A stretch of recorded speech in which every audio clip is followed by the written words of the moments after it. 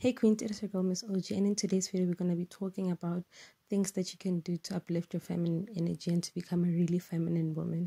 So, as per usual, please do like and subscribe, and please go check out my other videos as well, just so that you can get a bit more context on what I'm talking about. But before we get into it, let's do our daily affirmation, which is that everything is always working out for me because I am right where I need to be. Now, repeat after me. Everything's always working out for me because I'm right where I need to be. Perfect. So, I have noticed that recently I have been operating in a state of masculine energy. And what masculine energy looks like is basically you trying to fight and you trying to make amends of things that are not meant to be mended by you, you know. So, in life, we all come to a phase whereby we realize that everything we do is a two way street and you can only control what you do, but you cannot control uh, what other people do in that scenario and in that case. And I have been crying and bawling my eyes out because I feel like I have been losing a sense of my direction and purpose because the people that are around me started to pull away from me. And that placed me in a state of masculine energy, which means that I was doing a lot of chasing, I was doing a lot of begging, a lot of pleading, you know, I was doing a lot of please pleasing and things like that.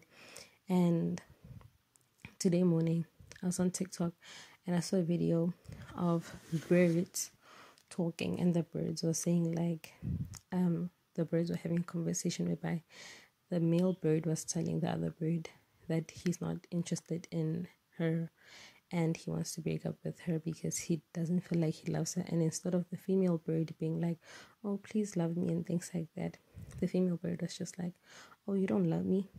That's fine. It's okay. I understand.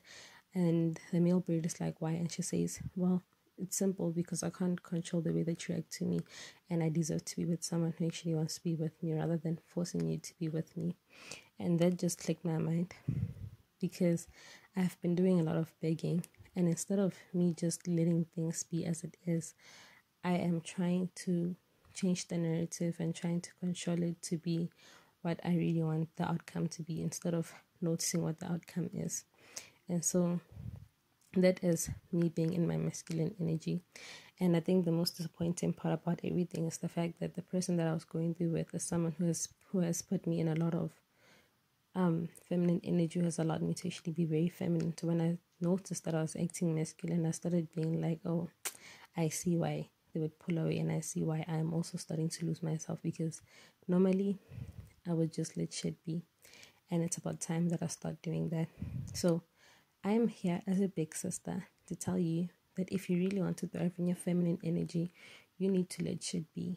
Okay, you need to let things be as it is. You need to let go of trying to force things. You need to let things be as it is and live in a state of flow.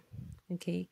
Sometimes we really get crowded by the fact that we do not see what we can accomplish outside of the things that we have already accomplished because we are so focused on not wanting to losing them.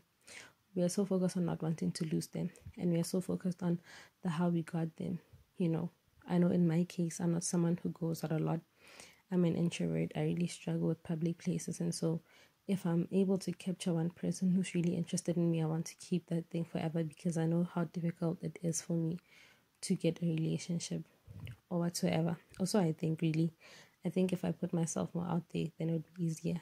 But because I am an introvert and I struggle with going outside and talking to people, that's what I have to deal with in the meantime. And so I noticed that if I keep crying and I keep trying to hold on to relationships that do not benefit me, I am actually pushing the people that I want to keep around me furthermore than what I am doing, you know, than what I should be doing, which is pulling them in. And you need to understand that you're really not responsible for how another person feels about you. You're really not responsible for how for uh, for how other people react towards you and you're really not responsible for the things that other people do to you what you're responsible of or what you're responsible for is yourself your emotions and where you want to go after this whole situation has turned up and turned out so to get out of your masculine energy you need to stop begging you need to stop crying you need to stop trying and you need to just let things be. If the things are really meant for you, they will work out. If not, you know, make room for new things. And if you are someone who really believes in fighting for things, I believe in fighting for things. Fight for things, but make sure that the fight is not one that leaves you losing yourself too very badly at the end of the day. Make sure that the fight is something that's actually worth it and that you won't find yourself being really damned in the future just because you wanted to keep something that you could not maintain or you wanted to keep something that the other person does not necessarily see worthy of keeping, you know. But with that being said, I love my life, I love myself, and I want to be a feminine person.